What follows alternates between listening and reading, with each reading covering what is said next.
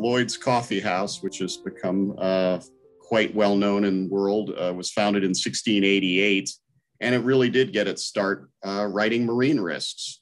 Uh, today, it's evolved to writing uh, lots and lots of other coverages, but uh, it was one of the original forms of insurance. National Maritime Day was created by an act of Congress in 1933. It's evolved over the years. It was to celebrate our nation's mariners uh, the merchant marine. Today, it's expanded to include the entire maritime industry and domestic waterborne commerce, of which uh, marine insurance is a very important part.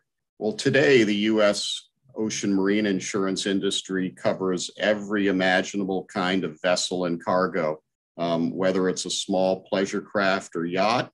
Uh, on up to the largest cruise ship or container ship that you'll see calling on a major port here in the United States marine insurance and marine commerce uh, was often thought of as kind of an invisible industry. Uh, people didn't tend to, to think about how a good got to their front door.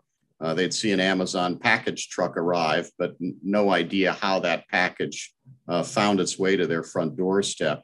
Nowadays, everybody has heard the word supply chain over and over again, where pre COVID, I don't think supply chain was ever in uh, regular used conversation. Today, in modern commerce, 90% of the goods that are uh, found in our homes probably arrived via container on a container ship.